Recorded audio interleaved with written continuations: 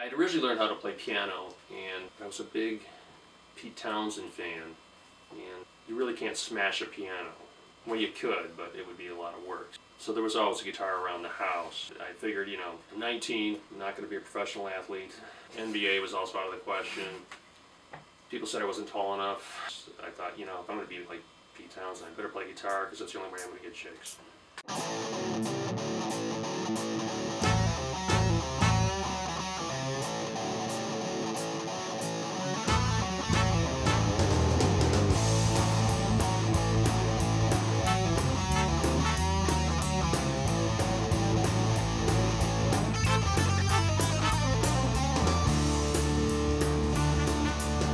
Job sucked. I used to have to drive around and sell paint to body shops and sandpaper and stuff like that. And so I used to screw off all the time and go to music stores and hang out. And I saw this really cool plastic guitar one day that's in Eastpointe, Michigan on the headstock. I just loved the guitar and, and the fact that it was from the Detroit area blew me away because I didn't realize that there was, you know, guitar companies here. And there weren't, except for him. I figured they were using sandpaper making the guitar somewhere so uh, one day I showed up at the shop with a bunch of sandpaper in my hand, beating on the door and introduced myself to him and started hanging out with him a little bit. Look, he was stalking. Me. I was full on. Sandpaper is the way to a man's heart, obviously. And uh, basically said he wanted to work for us. Uh, and said, look, I can put you in charge of sandpaper, or you can come to the NAMM show with us and sell guitars. And he figured he can sell sandpaper, he can sell guitars. Joe can listen to somebody play and, and pick up on their style of playing and sort of figure out how to match the, the gear to what they're looking to do. A lot of that has to do with his his education in engineering and graphic design and guitar Luthering and all that stuff. During college, I played guitar and then repaired guitars. And one thing led to another, and I started designing guitars. Naylor's got this great reputation for understanding guitar tone and somebody can come up to him and say, when I play lead, I want to sound like Mark Knopfler and I want my rhythms to sound like Eddie Van Halen. It's, it's just a talent that he was born with. When I was a kid, I used to work on my toys and I used to build model airplanes and explosives. And people across the industry have a lot of respect for Joe. And uh, I do too most of the time. Ken is the general manager of Reverend and he runs the day-to-day -day operation. He's also in charge of artist relations and sales. Basically, he keeps the train running. He's also uh, a, a gigging guitar player too, so he's you know, always out there promoting the Reverend name. When I started, originally all that I did was sales, and then over the course of the last six or seven years, that's turned into all of the outside sales. I deal with all the dealers. When we set up artist endorsement deals, I handle all that stuff. And, and so now I'm running the business end, handling all of the ordering, sales, and the ins and outs, and the daily running of the business so that Joe is freed up to do nothing but concentrate on guitars.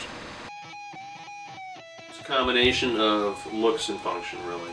If you look at a Reverend guitar, you can tell that it's influenced by the classics, which go back to the 50s and 60s designs. So the look is very important because it's it's the guitar you strap it on, you, you wear it. He'll come up with new designs based on what he sees uh, going on in the music industry. That's what he gets to concentrate on. He likes that, the nuts and bolts and the mechanic of the guitar.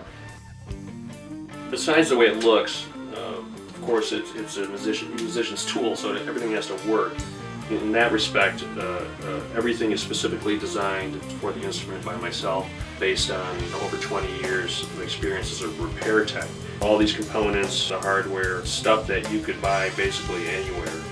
In other words, if you're on tour somewhere and something breaks, you can uh, find parts for these guitars, no problem. The pickups, which are really the heart of the sound, are designed by myself as well, are specifically designed for each guitar. Uh, so everything kind of works together as a system and it all comes together as a working tool uh, for musicians.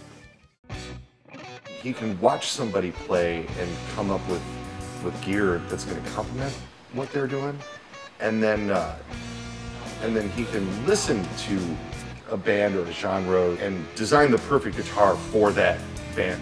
So that's why he's got such a huge reputation in this industry. I mean, having um, a successful amp line named after him, and then what everything we've achieved at Reverend in the last 15 years.